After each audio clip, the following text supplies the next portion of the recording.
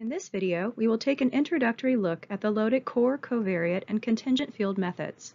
The goal of this video is to provide you a big picture view of the field methods collected throughout an entire sample reach. For more in-depth information on how to implement each method, reference the technical reference 1735-2 field protocol. This video will first describe the core Lotic AIM field methods, followed by contingent and covariate field methods. Core methods are applied everywhere. Contingent methods are only applied where certain problems are believed to exist, and covariates help understand stream potential. The core, contingent, and covariate methods can also be organized by what component of stream health is assessed. In Table 1, the methods are organized by water quality, physical habitat, and biodiversity and riparian habitat quality, in addition to core, contingent, and covariate. Throughout this presentation, we will highlight example applications of the methods to these components of stream health. Lotic AIM data are collected within a standardized length of stream referred to as a sample reach. Measurements are taken at the center of the reach, F transect, at a series of equally spaced main or intermediate transects, and throughout the reach, which is highlighted in Table 2 of the Lotic AIM field protocol. The core water quality methods are all taken at the F transect using a YSI instrument or similar multi-parameter sonde. A YSI measures the conductivity, pH, and temperature of water. Conductivity measures the capacity of water to conduct an electrical charge, which increases with the concentration of ions in a solution. Conductivity is commonly correlated with the degree of salinization or salt loading to streams. Activities such as irrigation return flows can increase stream water conductivity pH is a measure of hydrogen ions in a solution. The more hydrogen ions, the more acidic the solution, and the fewer hydrogen ions, the more alkaline the solution. Runoff from activities such as mining can decrease the pH of water. Temperature measurements are instantaneous and primarily used to flag any egregious exceedances that could impact biota. In some instances, projects deploy temperature sensors to continuously measure water temperature water temperature can control the type and distributions of organisms living in a stream.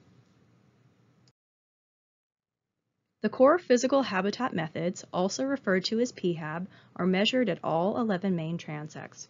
The methods are bank full height, bench height, bank stability and cover, and substrate size. Bank stability and cover and substrate size are also collected at the 10 intermediate transects. Bank full height and bench height are measured to the nearest centimeter from the water surface.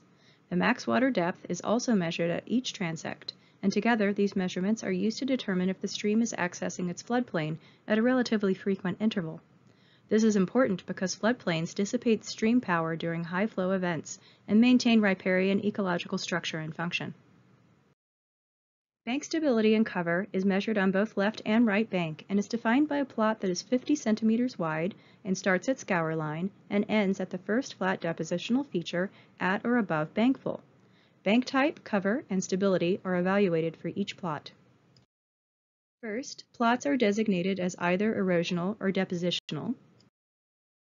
Each plot is then evaluated as to whether it is covered or uncovered based on a 50% foliar cover criteria for any combination of vegetation, cobble, wood, and bedrock that provide cover.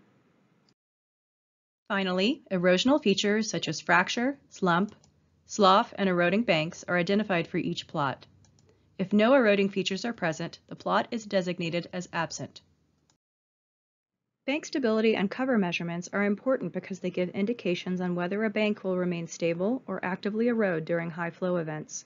Activities such as cattle grazing and recreation can alter vegetation cover and composition and directly influence bank cover and stability.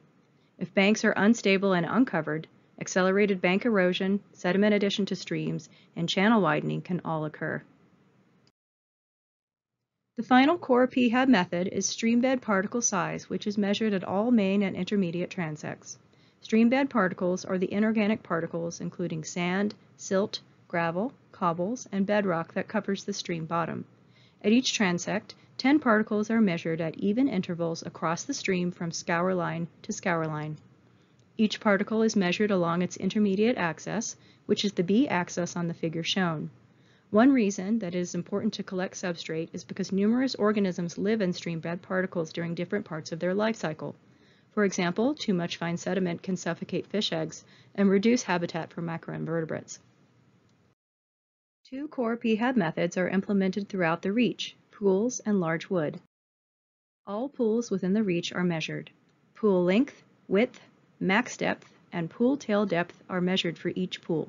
Pools are important because they provide critical habitat and refuge for fish and other aquatic organisms, especially in drought years where water levels can be low. Large wood over 10 centimeters in diameter for at least 1.5 meters in length is counted and recorded. Any large dead wood within bankful or bridging bankful qualifies and is counted. In-stream large wood creates hydrologic and geomorphic complexity and habitat for aquatic organisms. The core biodiversity and riparian condition methods implemented at Lotic AIM reaches are benthic macroinvertebrates and riparian vegetation. Benthic macroinvertebrates cling to the rocks and cobbles or burrow into substrate and are collected by disturbing the stream bed and letting the bugs wash into a surber or kick net as shown on the photo on the right. Invertebrates are collected in riffle habitats throughout the reach. If no riffles are present, invertebrates are collected at every transect using the reach-wide approach and a kick net. Macroinvertebrates are important because they are a food source for fish and other organisms, and they are good water quality indicators. Riparian condition is measured in two different ways throughout a Lotic AIM reach. Canopy cover is measured at six locations within the stream at all 11 main transects using a densiometer. Stream canopy cover is important because it plays a role in determining stream temperature and stream productivity. Riparian condition is also measured through assessing the presence-absence of priority noxious vegetation. Presence-absence is measured on the left and right bank in 10 by 10 meter plots at all 11 main transects. The plot is also extended into the stream to the center line to address noxious vegetation that can be submerged for prolonged periods. Noxious vegetation, such as Russian olive and tamarisk, can alter habitat and geomorphology of streams, among other impacts. The next topic covered in this video is covariate methods.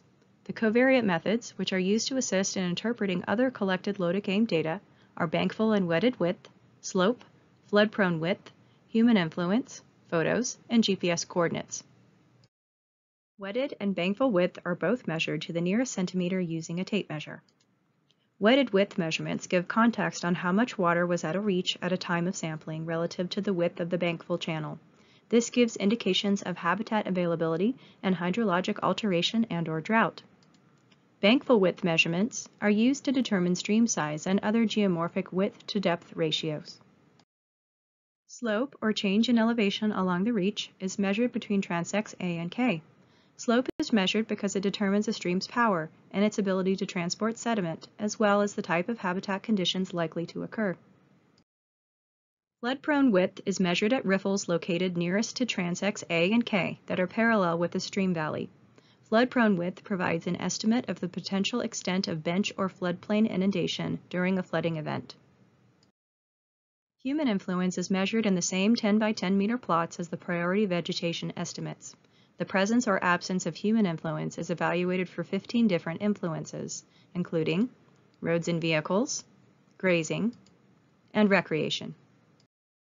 GPS coordinates and photos are taken at the center, top, and bottom of the reach. A minimum of 16 photos are taken, including a reach overview, monument photos, and critical concept photos, among others throughout the reach. Several covariates for each stream are also derived by the National AIM team using GIS. Examples include climate, soils, vegetation, topography, geology, and geochemistry. The last topic covered in this video is contingent field methods. Some projects will also collect a variety of contingent field methods. Contingent methods are suggested, but should only be collected in areas where they relate to management questions. The contingent methods that may be collected are continuous temperature, turbidity, nutrients, bank angle, pool tail fines, thalweg depth profile, and quantitative vegetation estimates. Seasonal temperature monitoring is measured by deploying thermistors and is used to track daily, monthly, or annual temperature conditions. Seasonal temperature monitoring is useful to understand potential limitations for aquatic organisms, especially during hot, dry periods. Alternatively, empirical models exist in many regions to predict average summer stream temperature. For more information on these models, consult the National AIM team. Total nitrogen and total phosphorus are collected at the F transect using a grab sample. Total nitrogen and phosphorus samples are used as a red flag to understand if more monitoring is needed. High nutrient levels can occur if there are excessive nutrient inputs to a stream from fertilizer or livestock use, which can cause eutrophication. High nutrient levels can also be evidence of accelerated erosion of certain geological formations. Total nitrogen and total phosphorus grab samples have additional protocols for collecting blank and duplicate samples to ensure data quality. Turbidity is measured using a turbidimeter at the F transect. Turbidity is a measure of the extent to which light is scattered when transmitted through water and can provide an approximation of suspended sediment loads. High turbidity levels may result from any land use that disturbs the soil surface and contributes sediment to stream or river systems, such as mining, timber harvest, off-road vehicles. Bank angle is measured at each of the 11 main transects on both left and right bank. Bank angle is measured from where the stream bed meets the bank to the first flat depositional feature at or above bankfull.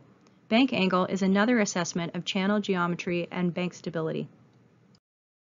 Thalweg depth profile measures the max water depth along the entire reach. The number of measurements are scaled by the size of the stream, and it can be used as a measure of hydrologic and geomorphic complexity. Pool tail fines represent the percentage of pool tail stream bed particles covered by fine sediment. Fine sediment less than 2 millimeters and less than 6 millimeters are assessed separately. Fine sediment is measured at the first 10 qualifying pools using a square grid.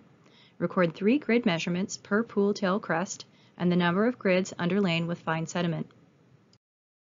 The frequency of occurrence of priority native woody vegetation is documented within a 10 by 10 meter plot centered on each main transect presence-absence of state-specific priority native species are recorded on each bank.